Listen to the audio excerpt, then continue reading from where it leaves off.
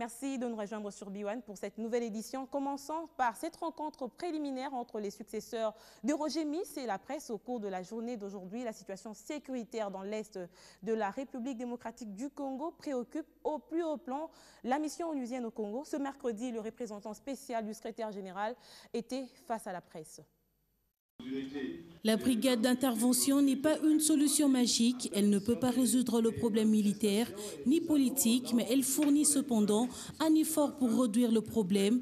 Tels sont les propos de Martin Kobler, représentant spécial du secrétaire général des Nations Unies, lors du point de presse de ce mercredi.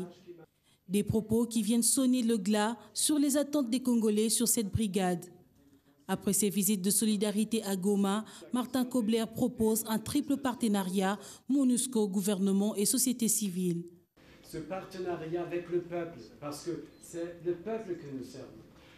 Nous sommes ici pour servir le peuple congolais. Le deuxième, le partenariat avec le gouvernement. Et je suis très optimiste après mes premières rencontres avec le gouvernement. Et le troisième, euh, c'est le, le partenariat avec la communauté internationale je vous dis, je dois vous dire une chose, le partenariat avec le gouvernement, ça inclut aussi des tâches assez difficiles de restaurer l'autorité de l'État. A également pris part à cette conférence la haut-commissaire adjointe des Nations Unies aux droits de l'homme. Au terme de son séjour, Flavia Ponsieri a lancé ce mercredi un appel en faveur de la lutte contre l'impunité.